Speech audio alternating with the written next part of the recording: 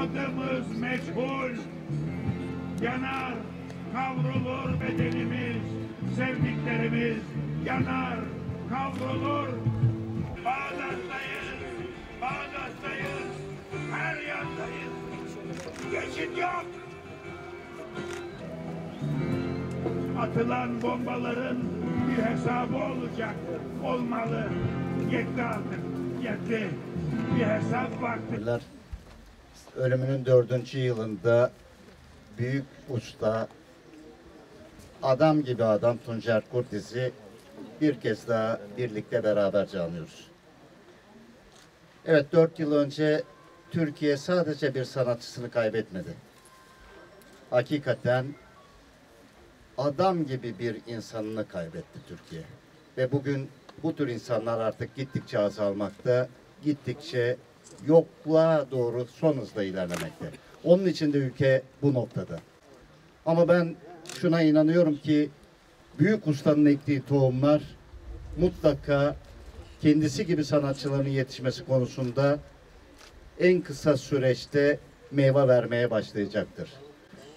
Ben bir kez daha rahmetle anıyor. Onun gibi sanatçıların ortaya çıkmasıyla onun mezarında rahat bir uyku uyuyacağına inanıyorum. Beni yalnız bırakmadığınız için çok teşekkür ediyorum.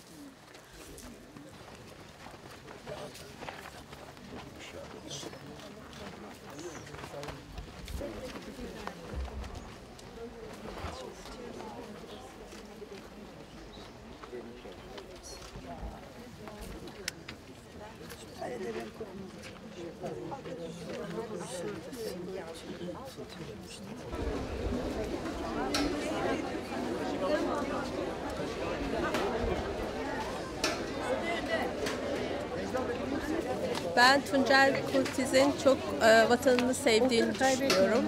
E, çok insancıl, insanları seven, e, çok iyi bir sanatçı olduğunu düşünüyorum. Tabii ki üzgünüz.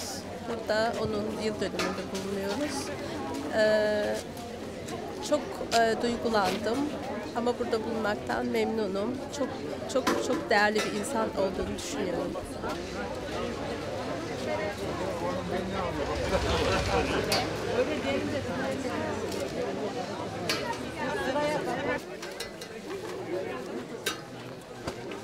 dayız.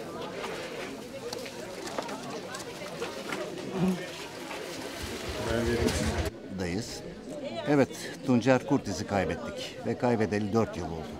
Boşluğu dolar mı derseniz, boşluğun dolma şansının olmadığını hepimiz açık ve net bir şekilde biliyoruz. Çünkü bu tür sanatçılar kolay yetişmiyorlar. Tuncer Bey sanatçılığın da ötesinde bir dostu, bir adamdı, Türkiye için bir adamdı.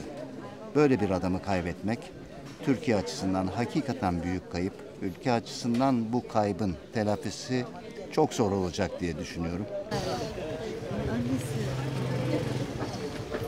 Açacak mısınız?